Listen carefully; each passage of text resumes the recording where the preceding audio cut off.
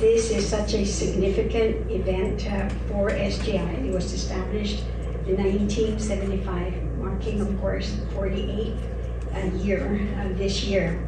And SGI is known, of course, to promote uh, world peace through culture and education. Although the SGI Guam Ikeda Peace and Culture Center opened in August of 2022, the unveiling officially took place on Saturday, January 21st, leading up to their 48th anniversary.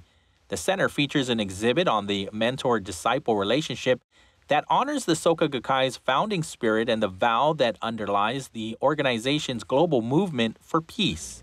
So we have uh, 192 countries and territories. And we started out in 1975 with 51 countries, and we've grown to 192.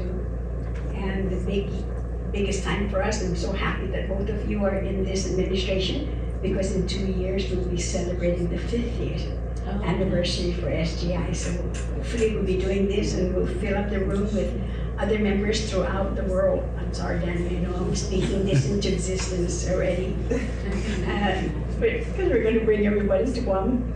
And, and, you know, and Sensei actually, in one of the meetings that he had, he had asked all of the members, the Japanese members, he said, how many of you have been to Guam? And not a single hand went up.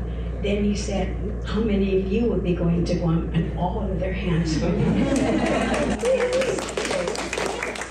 On January 26, 1975, 158 representatives from 51 countries and territories assembled at the Guam International Trade Center building for the first World Peace Conference.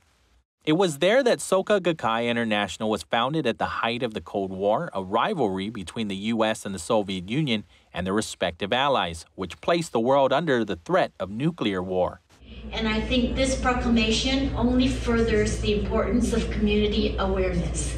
And these dates that are designated are the days that we need to make sure we go out there and advocate and proclaim and pronounce what what we are all about in those social issues, in those educational issues, even economic issues, and all uh, and human rights issues. Soka Gakkai is a Buddhist association of ordinary people committed to the peace and happiness of humanity. It was founded by two Japanese educators in 1930 who stood up to the military dictatorship of their time and sought to empower people with the life affirming philosophy of Nichiren Buddhism. In 1960, Daisaku Ikeda, the third Soka Gakkai president, embarked on a series of travels around the world to expand the Soka Gakkai's force for peace and meet with the world's leaders to bridge ideological divides of mistrust throughout dialogue. The SGI was formed to support this effort to create hope in an age of uncertainty. In recognition of the grand opening of the Guam Ikeda Peace and Culture Center on January 26, 2023, in recognition of the 48th anniversary of the Soka Gakkai International, I call on the people of Guam to join in, in congratulating SGI for their humble devotion to promote peace at home in our communities and in around the world.